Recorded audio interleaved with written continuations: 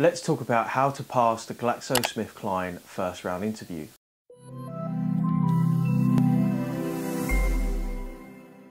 What's up guys, it's Mike from Job Ready English here to help you get hired. We break down the recruitment and interview processes of world famous companies to help you pass their interview. Today we're going to be covering the pharmaceutical giant GlaxoSmithKline, also known as GSK, and how you can pass their first round interview. If you want more help to pass your GSK first round interview, then check out the link down in the description below for the Pass the Interview Pack which has the research note, which I'm going to be reading from, which is 50 plus pages of most common questions, core values, helpful resources, sample answers for your GSK interview, as well as courses, worksheets, handouts, and even more sample answers to help you be best prepared as you can for your GSK interview. In our Pass the Interview videos, we split them up into three parts. Part number one, we're going to talk about GSK's recruitment process and what you can expect. Part number two, we're going to talk about the most common questions. And part number three, we're going to cover some other questions that came up. Today, we're going to be covering 10 questions. All our research comes from publicly available sources online from candidates who have been through this process in 2022. So let's start off with part one. What is GSK's recruitment process like? What can you expect and how long does it take? So candidates reported that the process lasted two months. Initially, they had to do an online application. After that, you have to do a series of online assessments, which mainly revolved around situational judgment test questions. After that, stage two is an interview, which is a face-to-face -face interview with competency and motivational questions, and there are about 10 questions. And then finally, stage three was an assessment center, which is a one-to-one strength-based interview with a senior manager from the area that you apply to, as well as potentially a case study and a group discussion. Here are the seven most common questions we came across for GSK. These are questions that candidates were asked repeatedly, so we feel like it's reasonably likely that you'll be asked these questions in your interview. Question number one, why this role? For an in-depth explanation of how to answer this question and a free worksheet, make sure you click the thumbnail up above. So really importantly, whenever you're applying for a job, make sure you have the job description to hand, which is helpful in outlining two things. What are you going to be expected to do day to day? What are your general or key responsibilities? And also what are the skills that you're going to be required to have? Now these could be hard skills, technical skills like being able to code or use a particular CRM, type of software, scientific process, or these could be soft skills like teamwork, leadership, interpersonal skills. Now here's a quick tip for you. If you find that the job description for the job that you're applying for at GSK is not particularly helpful, then you can use a job description for a different company.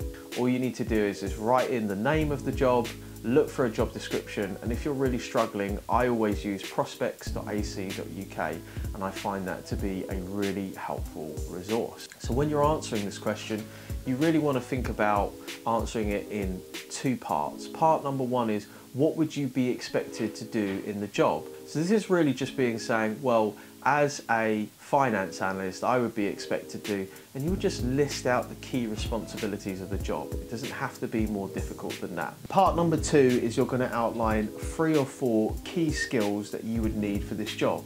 And again, you can get this from the job description. Now, importantly, when you're outlining the key skills, so say you need to demonstrate that you have really good Excel skills as a finance analyst. So you can say, well, actually, I've got advanced Excel skills because I had to use uh, macros. I've actually learned how to do a little bit of coding in VBA because I had to use Excel through the three years during my degree. And I also took an advanced Excel course to learn about how to do macros. So we're providing proof. We're not just providing an opinion.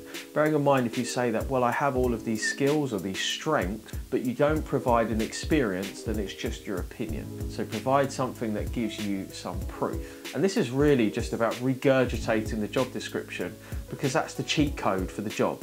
The company's already outline what exactly it is that they are looking for, and then you just mirror that back to them in your answer. Question two, what are your strengths for this role? So you really want to zero in on any experience that you already have that they are looking for in their job description or any skills that they want in their job description that you can already demonstrate. And you just want to outline, well, I'm actually really good at dealing with customers. I've worked at McDonald's for the past two years. Every day I have to deal with 50 customers. I'm really good at working under pressure.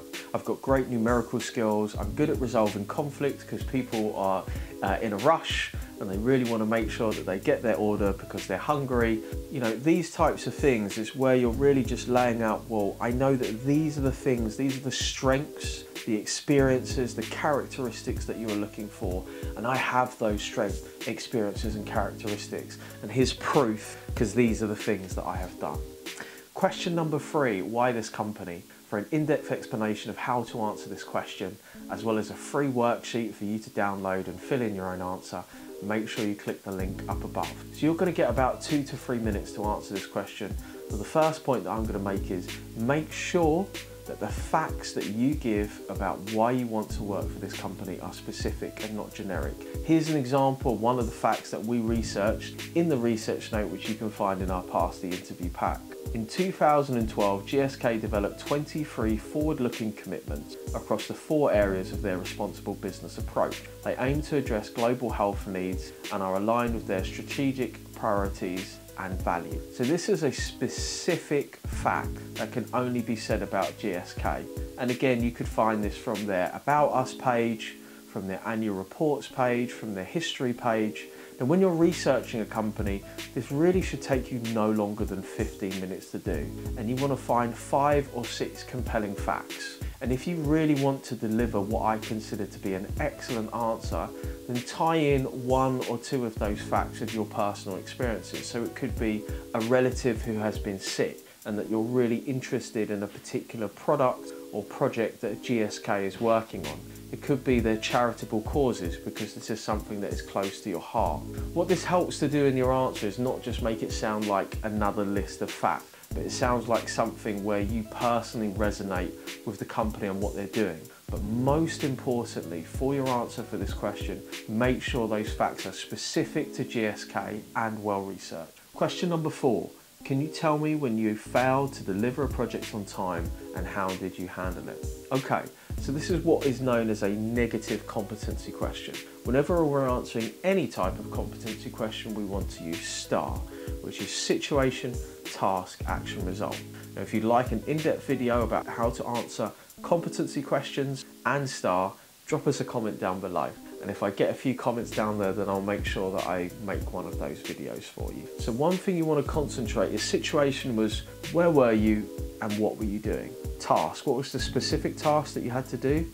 Action, what were the actions that you carried out to get the result that you achieved? Now failing to meet a, a deadline or a project now, for those of you who are watching this and say, well, I haven't got any work experience, just relate it to something to do with university. Then you might say, well, I've never missed a deadline. Okay, but what about a personal deadline, a personal goal that you set yourself, maybe a project that you were doing in your own spare time or something that you wanted to get sooner and you were unable to do that.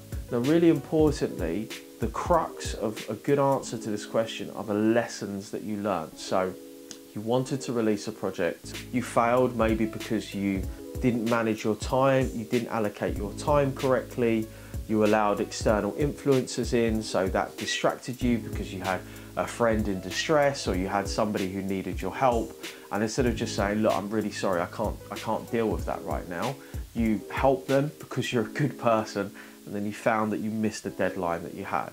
Cool, that's fine and that happens to everybody. So what did you learn? Then the second half of your answer is really all about saying, well, the next time when this happened, I did one, two, three improvements and fixes, and actually I got the result that I needed. So the result ends up being something positive because you're clearly demonstrating the lesson that you learned from the failure that you had. Question number five, Describe a time you've overcome problem. So overcoming a problem, this again is another competency-based question using STAR. So most importantly, try to make sure that this is a multi-stage problem. So it could be, well, I had to do a dissertation, so I had to do my research, I had to write out my brief, I had to put together my uh, book list, I had to go through it with my assessor, I had to write my draft and so on and so forth. I would say the problem should have at least two or three stages to be fixed. So one step problem is, well, I wanted a cup of tea in the morning and I ran out of milk, so I went to the shop. It's not really a difficult problem that I've had to overcome. And you can clearly demonstrate how you answer that. Generally, it's about good planning and preparation, seeking out additional help and resources, um, making sure that you organise your time effectively, having that deadline or goal in mind, and then working systematically through small chunks to reach that deadline or goal. Question number six, have you led or managed anyone? Now this is a great question. If you have done this, then really it's about demonstrating, you know, when you've led someone, what makes good leadership, I would like to give my kind of personal thoughts about this. For me, good leadership is really just about demonstrating leadership from the front. So if you want someone to work hard, you have to work hard. If you want someone to be organised, then you have to be organised. This is definitely a lesson that I've learnt the hard way over 10 years that I've managed people and businesses, where sometimes I will get annoyed at somebody for being disorganised, and then I have to reflect and think, well, actually, I'm the one that's disorganised good leaders recognise that ultimately the buck has to stop with them. It may be that the buck stops with them because they've hired somebody who doesn't have the right set of skills, so actually that's a failing on their part and they need to find somebody else or they haven't communicated properly or they haven't really, you know, explained what it is that somebody has to do or they've had a bit of a short temper and they've taken something out on a member of staff and really you're just having a personal problem or issue that you haven't resolved and you kind of what uh, a mentor of mine said you've taken your personal worry bag into work. Now if you haven't led or managed someone you can just use a simple example of leading or managing yourself. Managing your time managing your resources getting your degree getting to work balancing the things that you have to do in your life. So it's a really good way of answering this question if you've never been put in a leadership or management position before. And of course you might use an example where you've led or managed a team for a group project at university. Question number seven, how would you describe yourself or how would your friends describe you? Again, we want to make sure that we're using the job description. Very often people answer this question and go, oh, you know, well, I'm very happy-go-lucky and my friends would say that I'm really loyal and I'm a good listener. That's all fine. that could very well be true, but it doesn't relate to the job description. The job description is that kind of codex that the company is saying, well, this is really what I'm looking for. So you could say, well, my friends would say that they would generally come to me for advice and I am the shoulder that they like to cry on when they're going through difficult times because I think I've really worked hard to develop great interpersonal skills, which I think will be very useful for the job that I'm going to do. So every point that I'm making in terms of how I would describe myself or how would my friends describe me is something I'm then linking to a point on the job description. So here are three other questions we came across which we thought were uh, uh, definitely good to highlight and bring to your attention. Question number one, describe a time you worked as a team.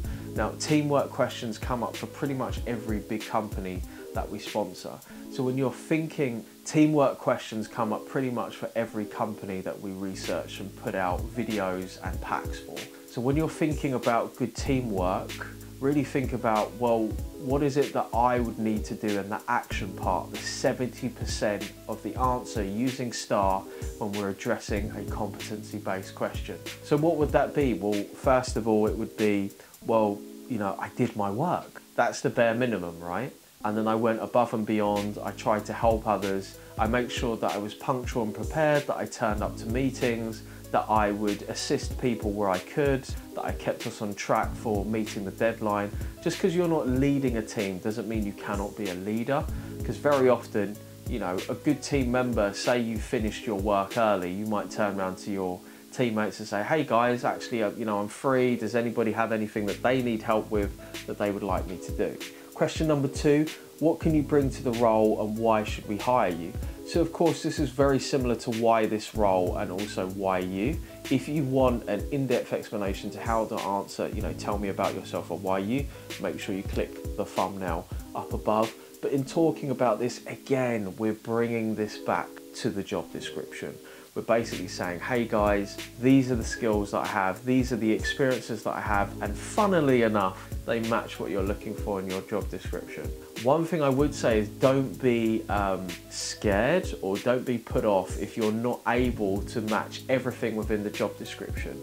It's a very common thing when companies put out job descriptions, they'll basically list out a wish list of experiences and skills, kind of knowing that it's unlikely they're going to find someone who can satisfy all of those things. But if you can satisfy a couple or half of those things, then fantastic. Question number three, describe a tough challenge you had to overcome. Very similar to question five in the most common questions of describe a time you've overcome a problem. And I'm going to give you an example of this from our sample answers. Situation, back when I was the customer support team leader, we had a new client who was often very rude to my team. Task, I decided to meet with him in person to understand him better and hopefully create a more positive dynamic. My department only communicated with customers by phone and email, but I thought more was needed in this case. Action, I wanted to use the face-to-face -face meeting to really get to know our new client and also understand why he came across as so rude. From the moment I met him, he seemed very blunt and quite stressed. After 15 minutes, he began to share that he had a newborn baby who was sick and was spending all his time either at work or in the hospital taking care of his new baby and his wife. I realised that he was rude because he was just stressed and tired and feeling very low. All I did was listen and sympathise with his situation and explain that in the future if he had any problems he could call me directly because I understood his situation better and kept his confidence. Result, he ended up apologising and after our meeting he was considerably easier to service. So the difficult challenge here is just basically a, a difficult client. Um, very often, you know, when resolving conflicts, I do tend to find if someone is difficult in their professional life, more often than not, you know, people are inherently good and they're just having some problems in their personal life which needs to be addressed. So a good way of thinking about that is really just outlining the steps that you took to overcome that challenge. It should be, a, you know, a multi-step challenge, two or three steps to really be compelling and believable. Guys, I hope that you've enjoyed this video for GSK.